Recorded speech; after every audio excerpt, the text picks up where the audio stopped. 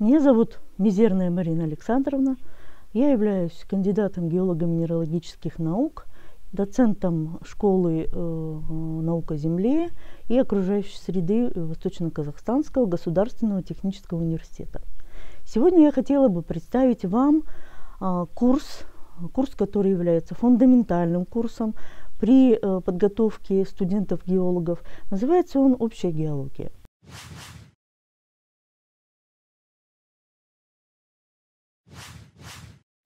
Общая геология очень э, интересный курс, он интересен тем, что э, несмотря на то, что речь идет о геологии, он очень важен для э, очень широкого круга слушателей. Э, этот курс могут, может заинтересовать э, школьников, этот курс может заинтересовать их родителей. Этот курс обязателен для изучения студентов-строителей, архитекторов, и всех людей, которые интересуются науками о Земле. А, что же такое геология? Геология – это очень обширная наука, которая дает основные знания о Земле.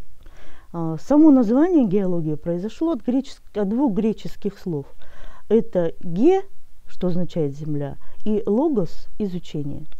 А, геология изучает не только Землю, но геология изучает также те процессы, которые происходят на ее поверхности, и э, те горные породы и минералы, которые формируются в результате прохождения данных процессов. С одной стороны, это фундаментальная наука. С другой стороны, геология очень важна для э, познавательного процесса, и она является исторической наукой. Предметом геологии является сама Земля – являются э, все образования, которые сформировались на ее поверхности, и процессы, которые формируют современный облик Земли. Э, к предметам геологии, к предмету геологии также относятся э, минералы и горные породы. Научно-познавательное значение геологии очень велико. А, именно это определяет ряд задач, которые входят в изучение данной дисциплины. Ну, во-первых, это изучение Земли как космического тела. Вы можете спросить, а, зачем геологам нужно изучать Землю как космическое тело. Дело в том, что ученые давным-давно установили, что а, наша Земля по своему составу, ну исключая, конечно, э, планеты-гиганты, она аналогична составу других космических тел. Следовательно, когда-нибудь в будущем наши геологи перестанут э, изучать и э, добывать полезные ископаемые на нашей планете и переключатся на космические объекты, находящиеся в космическом пространстве. А, геология изучает процессы, которые формируют ее современных, современный облик и э, современные горные породы. А, она изучает явления внутренней динамики Земли, которые связаны с, с э, той энергией, которая выделяется ядром нашей планеты. А, геология, геология а, выясняет причины и закономерности развития практически всех природных геологических явлений и процессов. Она изучает большой раздел так называемых опасных геологических процессов, которые входят землетрясения, извержения вулканов, а, цунами, ураганы и прочие опасные геологические явления. И самое главное, геология изучает условия формирования основных типов полезных ископаемых. Итак, геология является теоретической основой для поисков и разведки, а также эксплуатации разнообразных типов месторождений полезных ископаемых без которых невозможно развитие ни одной отрасли а, промышленности, которая сейчас существует на нашей планете. А, геологические данные также необходимы для всех видов строительства. Ведь когда э, строители сооружают подземные или наземные сооружения, они, не, они э, должны изучать состав горных пород. Они должны изучать явления, которые возникнут э, в этих горных породах при э, техногенном воздействии человека. И э, с другой стороны, они должны э, изучать также воздействие э, значит, самих сооружений на горные породы. А, при возведении плотин, водохранилищ, метрополитенов, тоннелей, шахт и других горных выработок необходимо знание геологии и геологического строения территорий. Все это позволяет а, производить проектировочные работы и рассчитывать безопасные а, значит, э, технологии строительства. Становление геологии э, приходится примерно на первую половину XIX века. Именно в это время э, накопленные знания, которые были получены многочисленными америка... английскими, американскими, французскими, советскими э, учеными, Однако начало геологии как науки связывают с первой половиной XIX века. Именно тогда учеными впервые была установлена э, основа стратиграфии, стратиграфии и э, хронологической, э, хронологического летоисчисления земной коры. И были накоплены материалы, которые позволяли э, выдвигать гипотезы горообразования и формирования месторождений полезных ископаемых.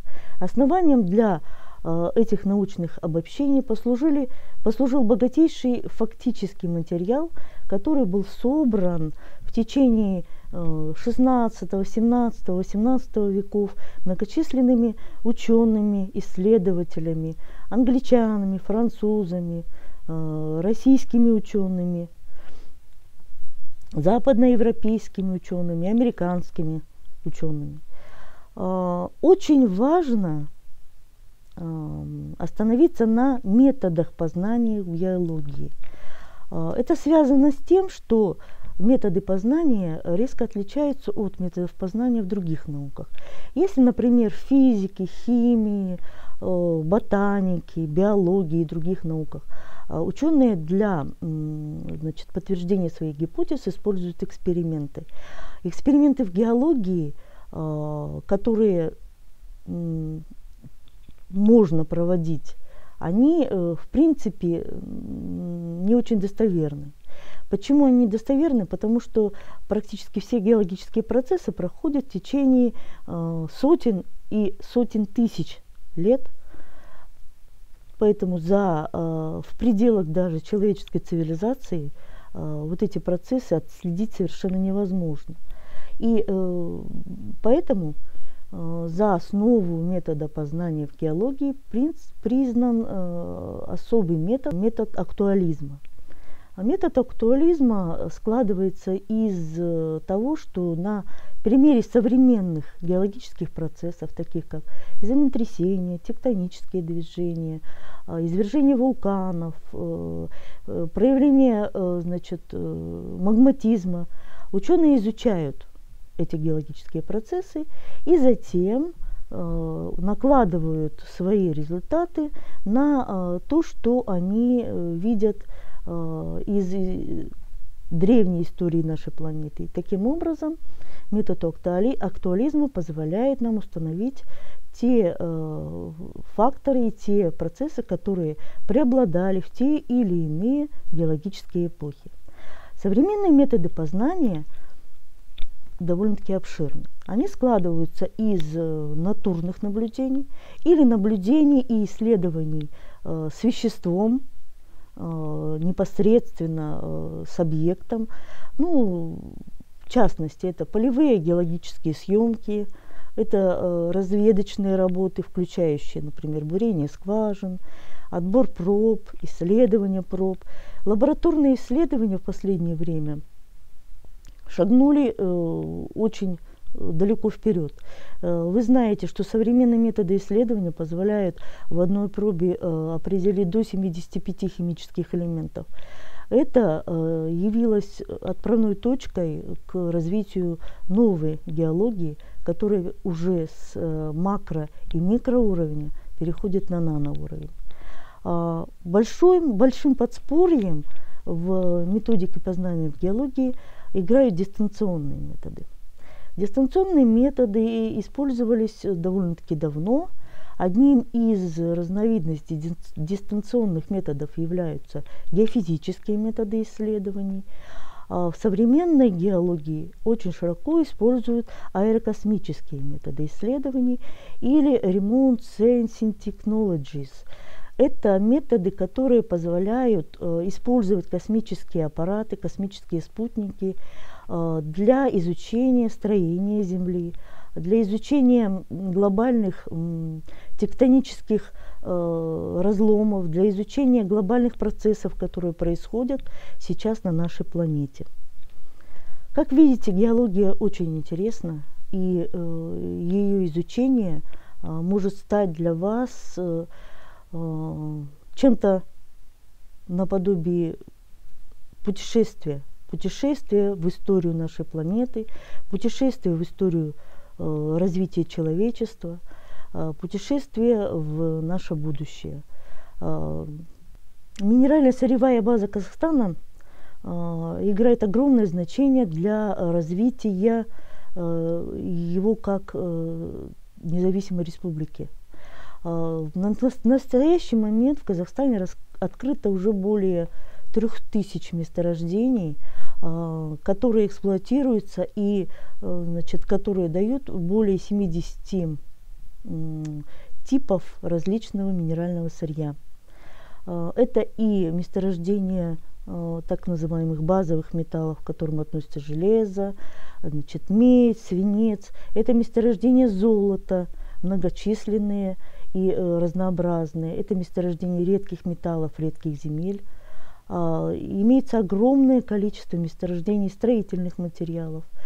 К ним относятся месторождения керамзитового сырья, это месторождение строительных песков, строительных глин, это месторождение строительного камня. Все, все это э, изучает наука геология.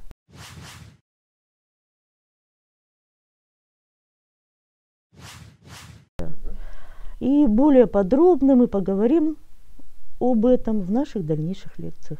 Спасибо за внимание.